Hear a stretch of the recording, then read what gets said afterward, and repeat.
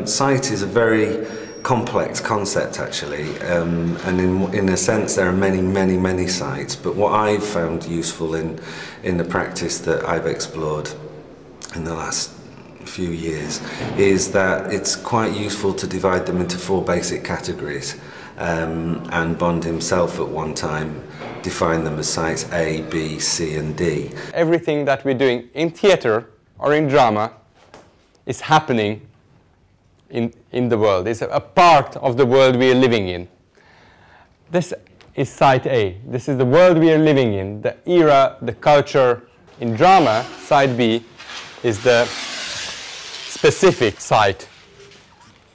This is the fiction. This contains uh, all, all of that, all of what's happening outside.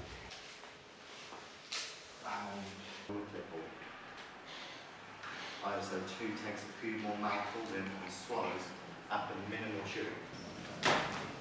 Asians? Mix. Oh. How many? Hesitates with a card.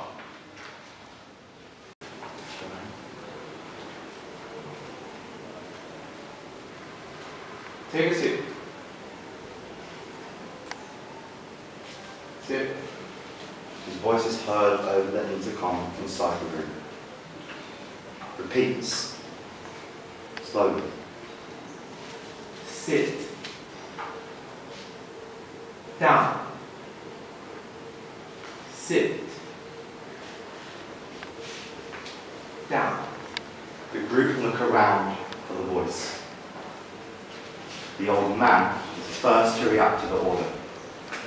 He indicates to the others and goes to the nearest chair and sits.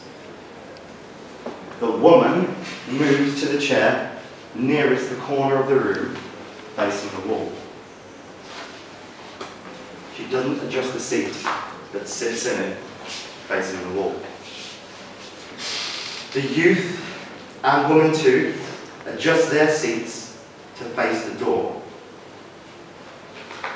But all remain spread out around the room.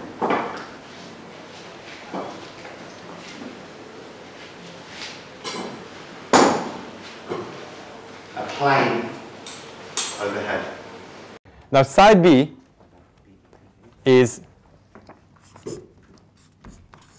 the main thing that carries it is the story.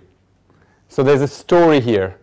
Even when you just look at it, you start building a story. That's such a basic human thing. You use story to make meaning. That's a cultural thing. Edward Bond, in his plays, uses the objects and the story. There's a dramaturgy of the objects, which you can hear, see here in, uh, in Humana Fragmenta as well. This is, this is really defining how people see and understand and make meaning of what they see in the, in the fiction. Uh, this is the imagination of the audience. And the real question is how do you use all of these to open some sort of a gap? Site C is how you use all of these in the story. So how do you use actions, how do you use language, how do you use objects in the story to create that gap?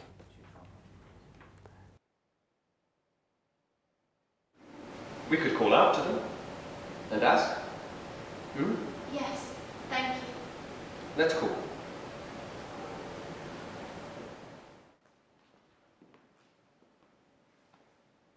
Toilet? Toilet?